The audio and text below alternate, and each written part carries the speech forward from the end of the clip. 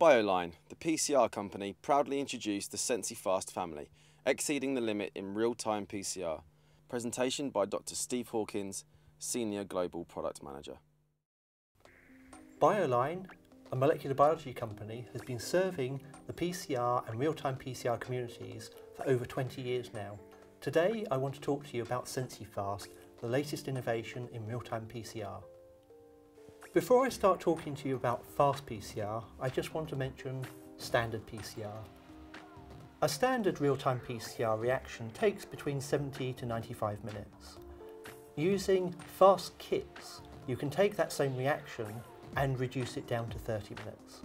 Why do real-time PCR faster? Well, one of the reasons for this is 70% of the real-time instruments on the market have four or more users. Being able to do the reactions faster overcomes this bottleneck.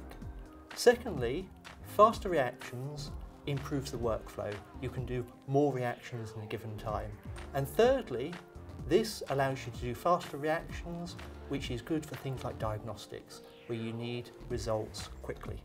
The SensiFAST range gives increased sensitivity, higher specificity, faster results, more robust performance, and it uses an improved reverse transcriptase.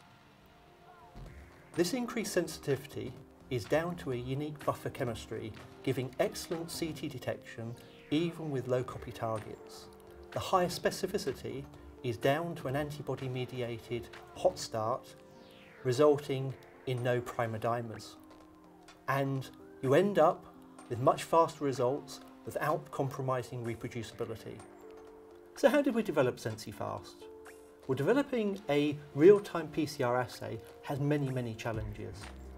What we need to do is we need to increase speed without losing assay performance.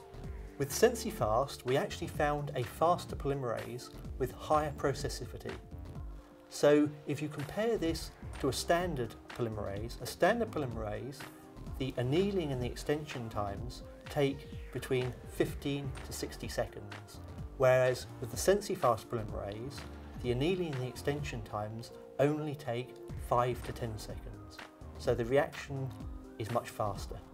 And you can see the difference on the results of the slide. You can see using relatively fast reaction times, what you actually see here is the SensiFAST actually working very, very well, whereas the standard Taq performing very, very badly.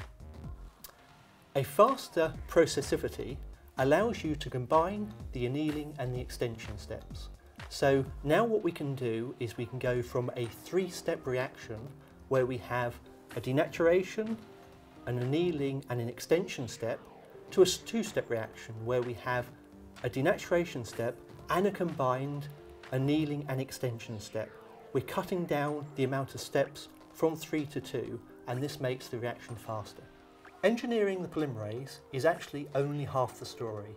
With SensiFAST, we actually tested lots of different buffers, different concentrations, different pHs, different stabilizers, different enhancers, and we also incorporated Bioline's ultra pure dNTPs to give the best possible sensitivity.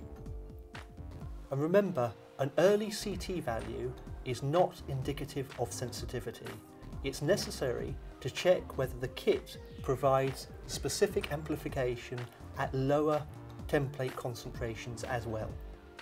Why is sensitivity so important? Well, sensitivity will actually influence PCR efficiency. A low PCR efficiency will result in inaccurate real-time PCR quantification. So you can see here why it's important. You can have an early CT value, but if you have poor sensitivity, what it will do is actually result in poor efficiency.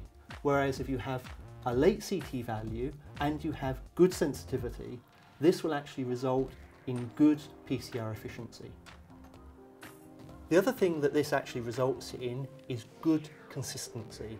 And you can actually see results here on this slide show with the SensiFAST we have consistency not only at an individual concentration, but also when we do a serial dilution. So you can see here, you're not getting the poor sensitivity and you're not getting the poor efficiency. You're getting the same result time and time again, not only for the SYBR Green, but for the probe as well. This consistency not only goes for the SYBR Green and the probe, but also with the more difficult multiplexing. And you can see here on this slide whether you're, in this case, singleplexing or fourplexing, quadrupleplexing, you're getting exactly the same CT results with the SensiFAST, unlike some of the competition. So once we had produced a really good SensiFAST mix for DNA, we then used it for the more difficult RNA, and this is the SensiFAST one-step kits. This is where you take reverse transcriptase and the polymerase, put them together in one tube, add RNA, allow the reverse transcriptase to produce the cDNA, and then to do the PCR afterwards. The other thing we did was to improve the reverse transcriptase. What we did was we found a reverse transcriptase that worked extremely well with the polymerase. Not only that, but we found a reverse transcriptase that worked very well at higher temperatures. Because of this, it means that you reduce the potential for problems with secondary structure in the RNA. So now what you can see is very good sensitivity and consistency in exactly the same way we saw with the DNA, we're seeing here with the one step with the RNA, both across a serial dilution and with the sensitivity itself in various different genes and between the SYBR and the probe. And you can see also that this applies to the one-step multiplexing as well. So again, whether we're doing a singleplex or we're doing a multiplex, you see exactly the same results with the SensiFAST one-step unlike some of our competitors. Applications of SensiFAST. SensiFAST, because it is fast, can be used for high throughput real-time PCR.